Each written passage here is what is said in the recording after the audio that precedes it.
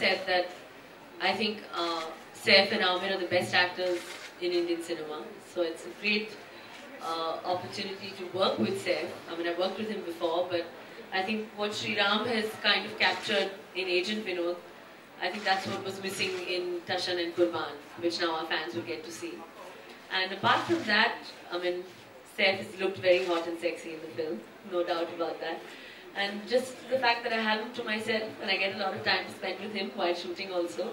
So thank you, Saif, for casting me in Agent Vinod and giving me such a wonderful role. Well, in this film, um, I didn't really have to lose or put on. I think the performance of Iram, that is my character, is more in the eyes.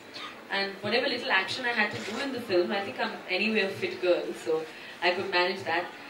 Though I begged Saif that don't keep too much action because, as everyone knows, I'm not very fond of action movies. But the action that I've done is pretty simple, and I saw the movie the other day, and actually, I think I do. I agree with Saif. I think I do look good doing action. Well, at first, obviously, when I signed the film, I was nervous because I was like, I'm, you know, I'm not very comfortable, you know, with the guns and running and jumping off in car chases and bike chases. but I think uh, I think it went off really well, even though I troubled Saif a lot on the bike chase. Saif, will you forgive me for that? Yeah, I think it's uh, always better to create more of an impact than to uh, bore people with your presence. So I mean, if we left it to last, it was probably a, a intelligent thing one day. Anyway, it's difficult to promote this film with uh, two people like Kareena and I. Uh, we, we want to keep things professional, and we want to. Um, publicize the film as two actors.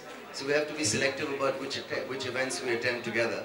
And we thought we'd save the best for last. So she is the best and you can have her last. It's a shame. There's not. It's about, uh, I think, about, roughly about the same price as this. Like if all the people you know, in this room went to see the film or in the mall. I mean, no, it's, it's about, I think it translates to about a crore, which is a lot of money. And it's not about the money. It's a shame that, you know, because the idea is to have open films between the two countries. I was very proud that uh, this film is not a jingoistic film that is bashing Pakistan.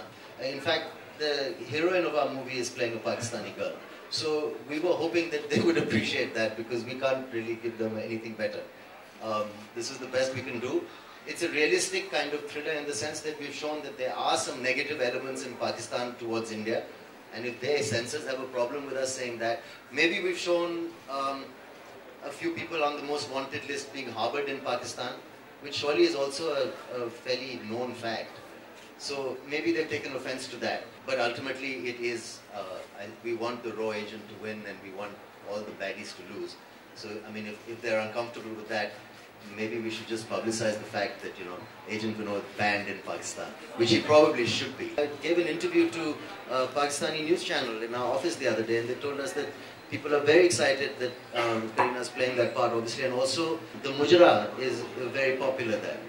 So it's a shame that they won't see it in the best way that they can. What to do? We tried. We tried our best.